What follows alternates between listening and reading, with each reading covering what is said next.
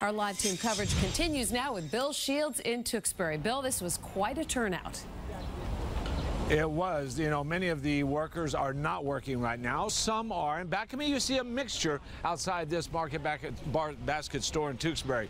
But this morning, there were thousands in this parking lot, all for one reason, in support of RDT. They were several thousand strong market basket employees and some customers vowing to hold their ground until Arthur T. DeMoulas was brought back. Bob McGuff has worked for the company for 47 years and says Artie T. created the family environment that employees valued so much. I wouldn't work for anybody. I've worked for two people in my life, his dad and him, and I won't work for these guys.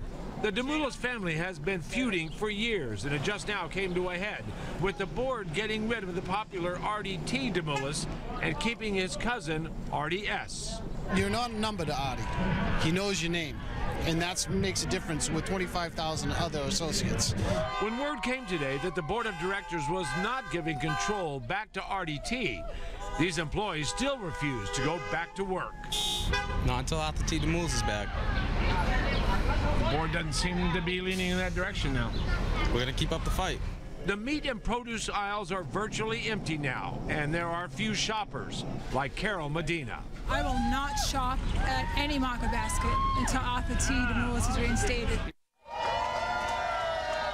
And many of these workers say they will stay off the job until Artie T. comes back.